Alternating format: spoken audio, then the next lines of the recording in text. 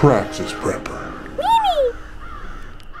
Hey YouTube, this is Praxis Prepper. I just finished watching Canadian Prepper's video, a review of the Solsource Parabolic Solar Cooker. Uh, and I think pretty much everything in that video that he was uh, saying I think was spot on and even his intuition about how it would age and everything, you know, I, I think uh, he was doing pretty good with that stuff. So if you're interested in, the, in maybe getting this product, I, de I definitely recommend watching his video, and I'll put a link to it in the description below. What I wanted to talk about was the perspective of uh, what this product looks like to someone that's been using it for a while. Because Canadian Prepper just received it. You can even see in the video all the these mirrored dishes are super shiny. They just came out of the box, pretty much. Um, and like I said, his intuition about it uh, was was pretty spot on. But there were there's uh, some tiny little subtleties and things that I wanted to mention. Um, uh, from my perspective, because I've had this for, I don't know, three, four, five years, and I use it all the time, almost every day that it's sunny. I've got uh, water out on this thing.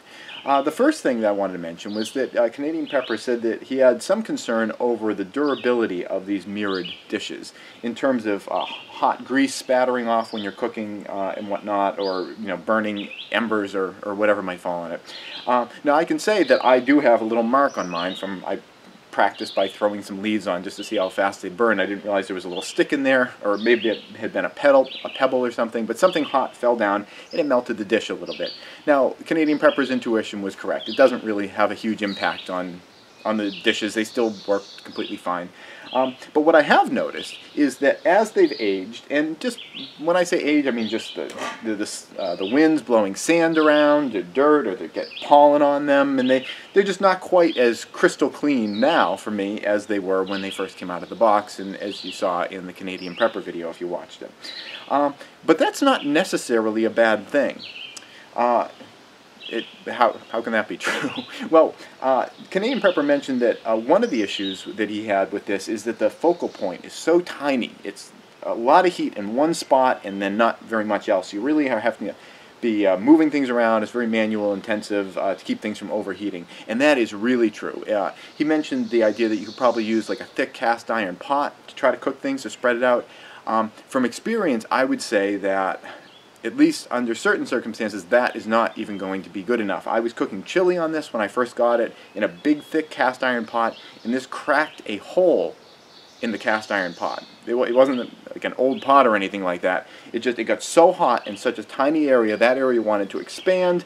The rest of the pot was still pretty cool, and it just it cracked the pot as it was going. And there was there was liquid in there. What it did is that it burned the chili to the bottom, to the point where it could get uh, you know above 212 and then you know the pot just you know cracked from there so it is really intense and uh, that is kind of a problem for when you're cooking things but as the um, as the mirror dishes age it actually kind of softens that uh, that focal point a little bit. Now, does it reduce your heat? Yeah, I'm sure it does, but it makes it a lot more functional uh, in terms of, uh, you know, actually being able to use it because you do get a little bit of softening. Now, that said, I never use this for cooking food. I only use this for cooking water, and man is it good at it. Canadian Prepper talks about that. It's really efficient. It really works quickly.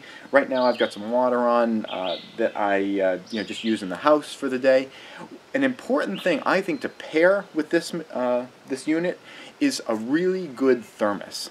What I do every morning when the sun rises is that I put a big pot of water on here and get it boiling and then I put it into thermoses. I've got two really big thermoses that I have in the house and that saves the hot water for the rest of the day. Uh, Canadian Prepper said, you know, this is great but it only works during the daytime. So anything you can do to save that water for later use, you know, in the evening if you want to cook dinner or something and you want to boil something, you already have water that's almost all the way hot uh, and it's ready to, ready to be used for you. So having this with some thermoses uh, has really worked well for me.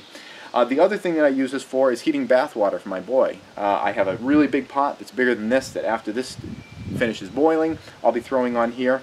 And I put that in a big bundled, I think it's called the Wonderbag, uh, and that keeps it warm for the day. So then at the end of the day, I've got, oh gosh, I don't know, maybe six, uh, six gallons of water ready for his bath. It's you know really hot it's still at that point, and you know I, I cool down with some extra water. So pairing this with a way of storing that heat energy in a thermos or like these fluffy kind of bag uh, contraptions that you can use to put a whole pot into, that works really well. Uh, the other thing that Canadian Prepper mentioned was the, the sturdiness of the frame, and it is a it is a pretty sturdy frame. It's held up. It's got a little bit of rust on it at this point. Uh, you know, in a couple places, uh, even though I sort of set it out from the I keep it out of the weather during the winter, but still, you know, just with exposure and everything, it's got a little rust.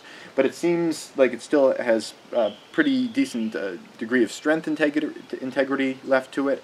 Uh, that part uh, works pretty well. One part mechanically of this that does not work very well is this little uh, uh, sliding lock down here.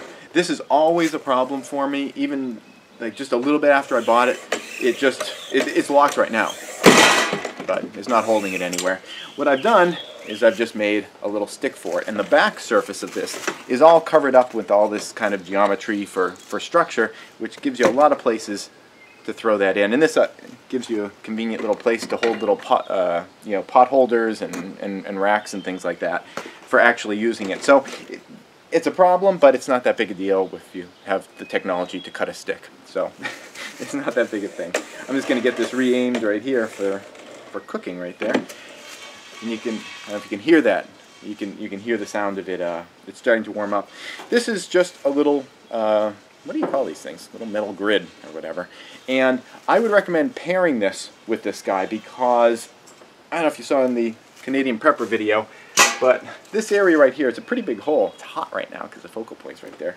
But it's a pretty big hole, and if you have a smaller pot, if you put one of these in the middle, it can help to hold something because it is pretty darn dangerous when you have a a pot that barely fits into here. And I actually bought a pot from the website that he mentioned that seemed like it was supposed to go with this. It was called like the bean pot, and it it like barely fits into the little uh, you know metal holder there, and it, it was always kind of flipping and spilling. It was a disaster. I had no idea. I, I, I eventually got the, the, the rack in there and, and, and, had it working. But you have to be really careful with this because it does um, if you don't have a big pot or a big pan or something like that, it's easy for things to kind of fall out of that, and it's boil, hot boiling stuff uh, coming out of there. Uh, Canadian Prepper mentioned that uh, there is an option of getting uh, cover for it to go on it really easily. I bought that, and I would highly recommend that if you're going to get one of these, that you would do that too.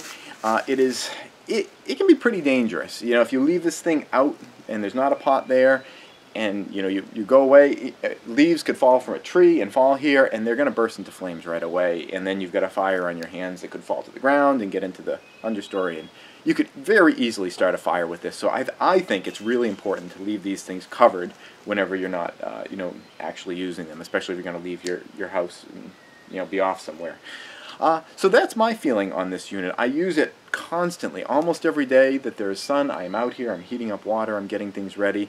I've, got, I've definitely gotten my money out of it. It was expensive, it was an investment, uh, you know, right off the bat, but uh, it works really well, it's aging very well, and I've been very pleased with it.